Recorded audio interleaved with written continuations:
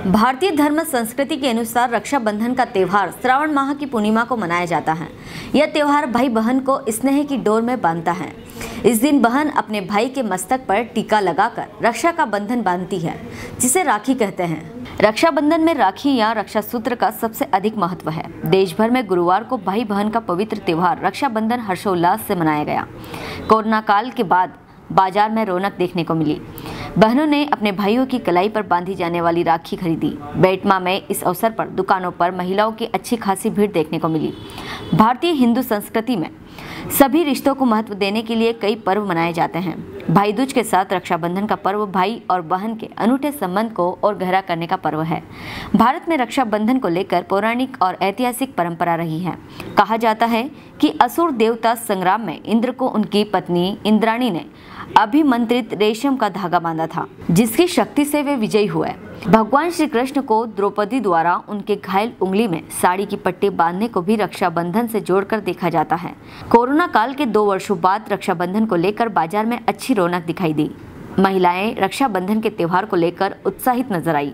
बैटमा से राजेंद्र सूर्यवंशी की रिपोर्ट। श्री तेजा जी, आज के जो भाई बहन का पवित्र बंधन, रक्षाबंधन का जो पवित्र संबंध है वो बहुत ही अच्छे देखने हैं और भाई बहन जो सब ग्रामीण क्षेत्र या मिठाई की दुकानें या राखी की दुकानें में बहुत अच्छा रश है।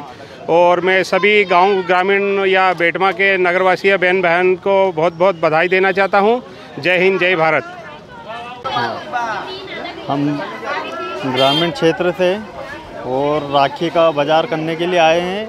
और ये लॉकडाउन के बाद पहली बार तीन साल में मार्केट इतना अच्छे से खुल पाया है और हमने काफ़ी खरीदी करी और आप देख सकते हो मार्केट में काफ़ी चहल पहल है मार्केट में और हमें बहुत खुशी है, बहुत अच्छे से हम ये त्यौहार मना सकते हैं अब।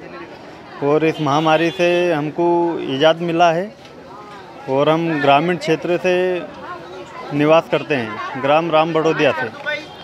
और बहुत खुशी की बात है कि इतना अच्छा माहौल बना हुआ है। देश का। बाज़ार ये बेटमा का ऐतिहासिक बाज़ार है सर। जैसे आप देख सकते हैं कि दो साल बाद कोरोना के टाइम के बाद आज मतलब मार्केट में भीड़ दिख रही है रक्षाबंधन के त्यौहार पर। हमारे बेटमा में रक्षाबंधन का त्यौहार बहुत उत्साह उल्लास से मनाया जाता है।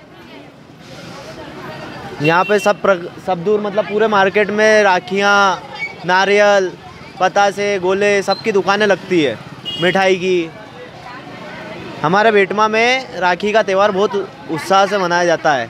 यहाँ पे सब एक साथ, एकता से रहते हैं।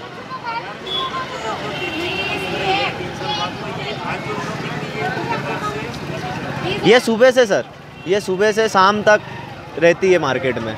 ये बेटमा का मेन मार्केट है। अच्छा बिक रहे सर, सुबह से अच्छी बोनी हो रही है। आज की राखी का त्यौहार बहुत अच्छा चल रहा है। बहुत दिनों बाद यहाँ पे इतना मतलब बाज़ार लगा, लगा है इतने सारे तो- लोग हैं। दो साल के बाद ये अवसर मतलब- आया है। हाँ कि हम अपने भाइयों को अच्छे से राखी बाँध सकते हैं। और मतलब बहुत अच्छा लग रहा है कि इतनी रौनक है बाज़ार में। हाँ हो हाँ गई। हो गई और बहुत अच्छे से हुई अच्छे नहीं नहीं। नमस्कार साथियों, आज रक्षाबंधन का त्यौहार है पूरे देश में आज रक्षाबंधन का त्यौहार मनाया जा रहा है। बेटमा में भी बेटमा के बाज़ार में भी रौनक देखने को मिल रही है। आप देख सकते हैं मेरे पीछे किस तरीके से बाज़ार में रौनक दिखाई दे रही है। यहाँ लोग जो है अपने खरीदी करने के लिए आए हैं, रक्षाबंधन का त्यौहार बड़े धूमधाम से मनाने के लिए आए हैं। आज खरीदी करने के लिए करीब दो, तीन साल बाद, कोरोना के दो तीन साल बाद आज बाज़ार में रौनक देखने को मिल रही है। हम आज कुछ दुकानदारों से चर्चा करेंगे उनके बारे में कि ये उनकी खरीदी किस तरीके से, उनकी बिक्री किस तरीके से चल रही। बताइए आपकी दुकान से बिक्री किस तरीके से चल रही है और आज सुबह से क्या माहौल चल रहा है बेटमा का? आज सुबह से बेटमा में बहुत अच्छा माहौल चल रहा है। सुबह से बेटमा में बहुत भीड़ लगी हुई है। रक्षाबंधन के इस पावन पर्व पर आप सभी देख सकते हैं कि कोरोना काल के बाद बेटमा नगर में इतनी बेहतरीन मतलब कि इतनी अच्छी पब्लिक नज़र आ रही है और बेटमा का बाज़ार भी बहुत अच्छे तरीके से चल रहा है।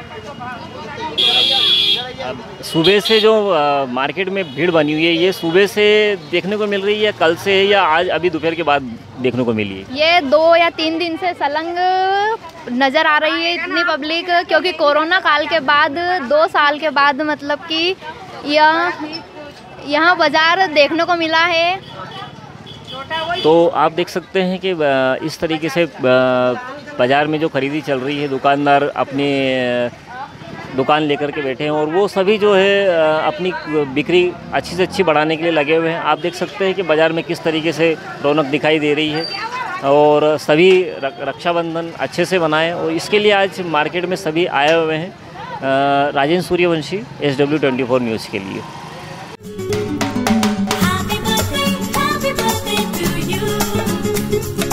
संस्था जी जागृति सोशल वेलफेयर सोसाइटी की अध्यक्ष अंजलि वर्मा को उनके जन्मदिन पर हार्दिक बधाई व शुभकामनाएँ।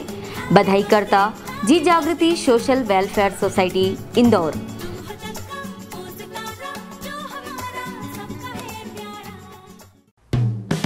Hello friends आप देख रहे हैं हमारा channel S W twenty four news हमारे सारे वीडियो सबसे पहले देखने के लिए आप हमारे चैनल को सब्सक्राइब करें और पास में लगे बेल आइकन को दबाना बिल्कुल भी ना भूलें।